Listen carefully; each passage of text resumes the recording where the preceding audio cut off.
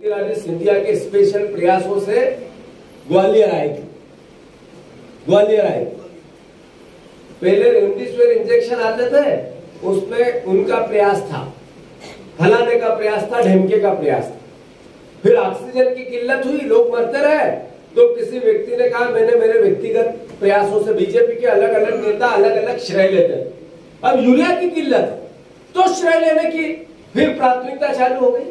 मेरा मुख्यमंत्री इस प्रदेश की शान है। मेरे प्रदेश का मुख्यमंत्री भले हमारी पार्टी का नहीं है, पर मध्य प्रदेश के संवैधानिक पद का माथे का ताज है। उसको क्यों जमुरा बनाने में लगे हैं ये भारतीय जनता पार्टी के? समझ से परे है। एक मुख्यमंत्री जो एक संवैधानिक पद पे है, उसका सम्मान हर नागरिक का कर्तव्य है, हर पार्टी का कर्तव्य है, हमारा भी कर्तव्य है। पर ये लोग बार बार अपनी खुद की उपयोगिता को महत्वपूर्ण बताने के लिए मुख्यमंत्री के पद का अनादर क्यों करते ये आज आपत्ति का विषय है। ये संविधान की मूल भावना के विरुद्ध वाली बात है। कोई नेता कहता है, मेरे प्रयासों से हुआ, अखबारों में छपवाता है। तो फिर मुख्यमंत्री किस काम का? ये सवाल है या नहीं है? मैं मुख्यमंत्री से अनुरोध करना चाहता हूँ।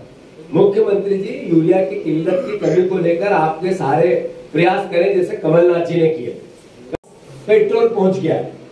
ये शिवराज सिंह जी जो पचास रुपए में साइकिल चलाई थी, अब हलक से शब्द भी क्यों नहीं निकलता? और आप जितना मध्य प्रदेश का टैक्स उससे लेते हैं, वो कम क्यों नहीं करते हैं? ये भी किसानों को किसी न किसी रूप में, उनकी लागत बढ़ाने में सहयोग करता है। हम मांग करते हैं कि मध्य प्रदेश के हिस्से का डीजल, पेट्रोल पे लगने वाला टैक्स समाप्त करे ये सरकार। तब तो हम मानेंगे कि शिवराज सिंह जी किसान हितैषी है। नहीं कर सकते तो कम से कम किसानों को तो सब्सिडी दे। ये मांग तो कांग्रेस पार्टी की माने, अगर किसानों के हित में आप काम करना चाहते हैं, पर नहीं करेंगे। एक सांसद चुनाव आचार संहिता के उल्लंघन में एफआईआर दर्ज, सारे मंत्री आज भी सब अपने अपने चुनाव क्षेत्र की जहाँ ड्यूटी लगे, वहाँ लगे हुए पर किसानों के दुख दर्द में कौन खड़ा होना ही नहीं चाहता। प्रशासन का दुरुपयोग क्या होता है?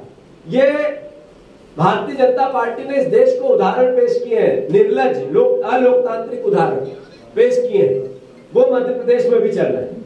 मैं मानता हूँ, जिसने बार बार ये कहा कि हम किसानों के लिए अपना सब कुछ निछावर कर देंगे, वो किसानों की जान लेने में कोई गुरेज नहीं करते हैं। किसान भाइयों, ये सब भावनाएँ मैं आप लोगों के लिए बता रहा हूँ। हम इनको जानने, समझे। जब किसान की बात आती है तो पार्टी की बात नहीं आती। विचारधारा की बात नहीं आती, किसान और सेना। इस देश में एक सेना देश की रक्षा करती है और किसान देश के अन्न से उस सेना को ऊर्जा देते हैं। इस देश के एक एक नागरिक को ऊर्जा देते हैं।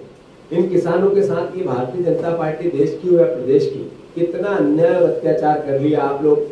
आत्ममंथन करें, विचार निष्पक्ष होके करें।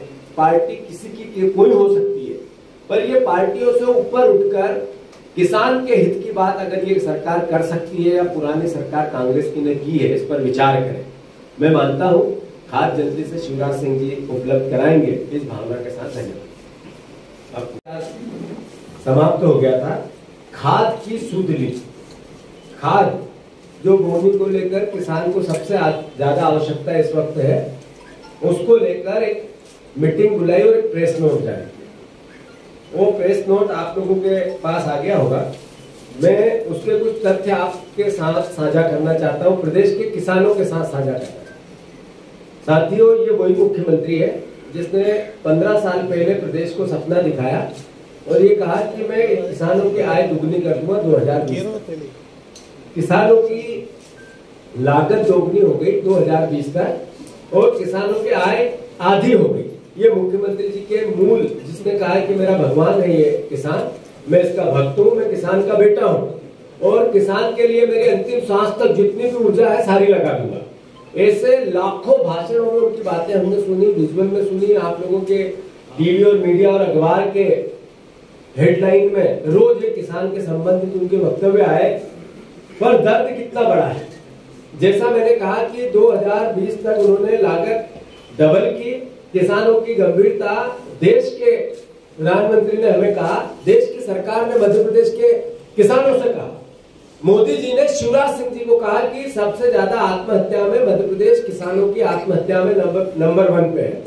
ये इनकी असलियत, इनकी भावनात्मक जो अपील है, उसके विपरीत बात मोदी जी ने इनके लिए समीक्षा की।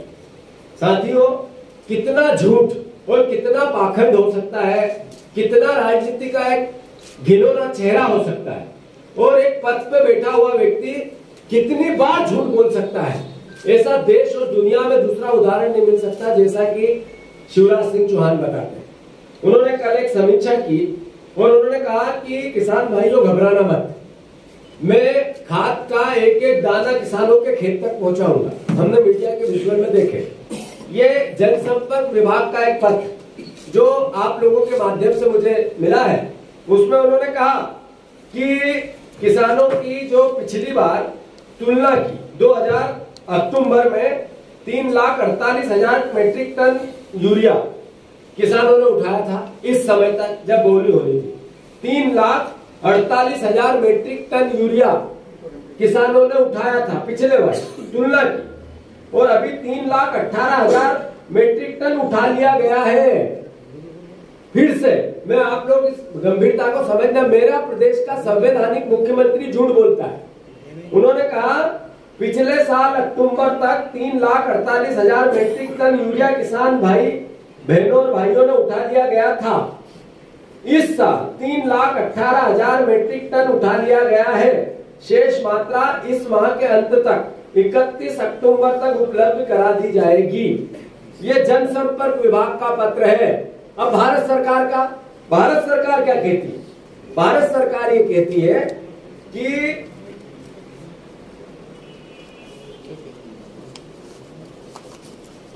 कि चार लाख, छह लाख मैट्रिक टन का यूरिया मध्य प्रदेश को चाहिए। छह lakh metric ton urea Madhya Pradesh को चाहिए। कांग्रेस पार्टी कमलनाथ जी, मैंने खुद ने हमने तीन तीन बार पत्र लिखकर शिवराज सिंह जी को और देश के उर्वरक मंत्री को ये बात समझाई थी, वो पत्र भी आपको हम दे रहे हैं।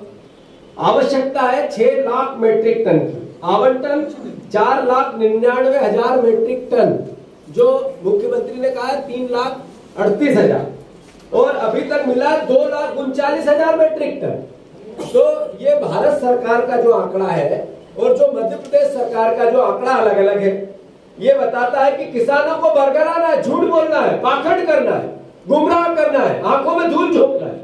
ये ये व्यवस्था यूरिया को लेकर। अब डीएपी किलो डीएपी में किसान खरीद, दो लाख इकतीस हज़ार मेट्रिक टन यूरिया भाइयों ने खरीद चुके हैं।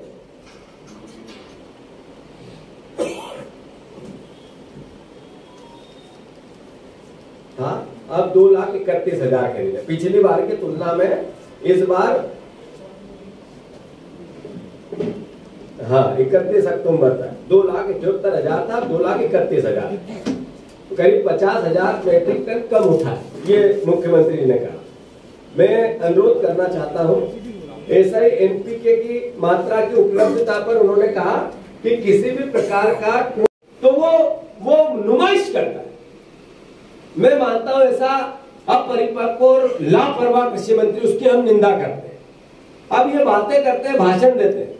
भावांतर का भुगतान, बोनस, बीमा, अरबों रुपए का बकाया है। ये कौन करेगा? आप भाषण तो खूब देते थे।